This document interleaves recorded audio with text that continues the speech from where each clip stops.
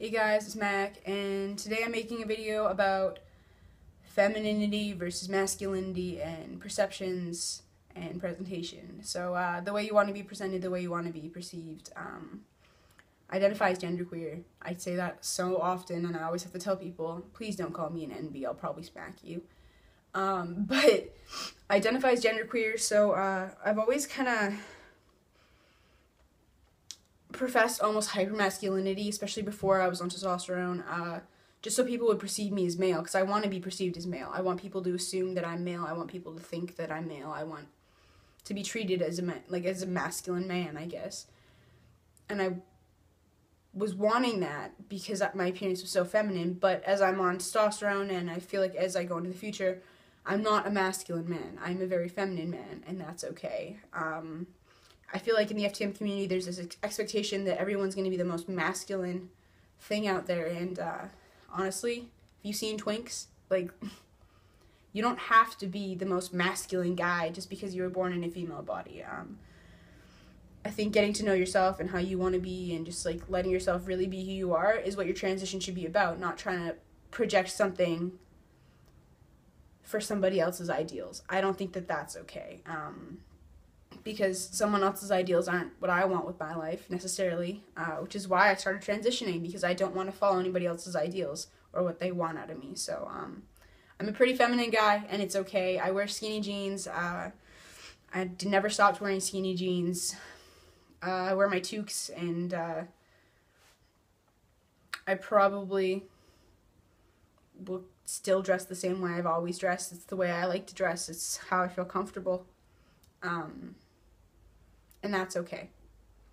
Uh, I like big scarves. I like hats. Like, I'm genderqueer, and that's absolutely acceptable, even as a trans man. Um, I can express myself however I want, just because there's people that think that they have the right to police your identity and police the way you present yourself does not mean that they have the right to. And um, I feel like a lot of people that follow my Tumblr blog, they know that I have a lot of opinions on the trans community on Tumblr and uh, the politics about surrounding that. Um, I believe that you have to have gender dysphoria. You have to have dysphoria to go on hormones because gender dysphoria is literally the name of the disorder. So it's a medical condition. I believe that gender dysphoria is a medical condition. Um, but that doesn't mean you, anyone has the right to police anybody's identity, whether or not they're presenting themselves as feminine, masculine, like something in the middle, like different things, different days. Like nobody's fucking business. Anyways, that's my take on it. Um, I hope that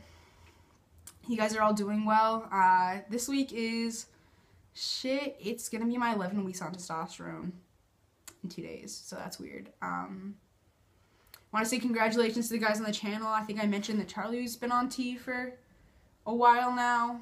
Um, and Kendall's one week on T was either today, yesterday, something like that. So, um, congratulations to those guys. I'm so fucking happy for you guys. I'm so proud. Um, I just want to talk quickly about a couple emotional changes too, just because like I try and whenever I do make these videos, I try and just add them in there so that I can look back. Um, I've been really angry lately, and um, it's not that like I'm necessarily angrier than I've ever been before, but it's the way I use that anger and the way I react from that anger is entirely different. Like it feels like my fuse is maybe a tenth of how long it was before, and um, I'm finding that I'm really agitated. Um, I've been having panic attacks. They stopped in the last week or so, so I've been good for about a week or so. But I was uh, for almost three weeks or so. I was getting um, these really really bad chest pains, and then I'd start freaking out, and then I'd like start hyperventilating and crying and like coughing and like you know the big huge deal, and it would happen almost three times a day. So um, there was a while when that was happening. Um, I'm gonna go to the doctor soon, getting my three month blood test, and need to get that done this next week. So that's gonna be, but um, sorry, I don't know what the hell's going on with me. But yeah, that's gonna happen. Um, my three months is coming up soon, and I'm really, really happy that you guys are watching my video right now. So if you have any comments or you have any questions about testosterone, androgel, anything like that, you know that you can put them in the comment section below, and uh, let me know. If you want to hit me up on my Tumblr, you want to hit me up on the Collab Tumblr, you have any questions, you have any topics you want me to talk about, any of us want to talk about, that's what the comment sections are here for. So if you guys need any help, that's what we're here for. I, like people always ask me, why do you do this channel? Why do you make videos? Like, and I wanted to tell you guys that like when I was questioning is literally the time when I was questioning. I was watching guys' videos on YouTube, and it was Chase and Chase's guidance and talking to him, and watching Emery's video, his one year on testosterone, and watching his just his transition that made me really realize that like I wanted this for myself. I wanted to be happy. I wanted to be able to look at myself and feel comfortable. So um, that's why I make videos. If one of my videos helps you guys or something I say might make you feel more comfortable about yourself or maybe realize that you're not alone, it was worth it for me. So I hope you guys have a great week. If you have any questions, let me know.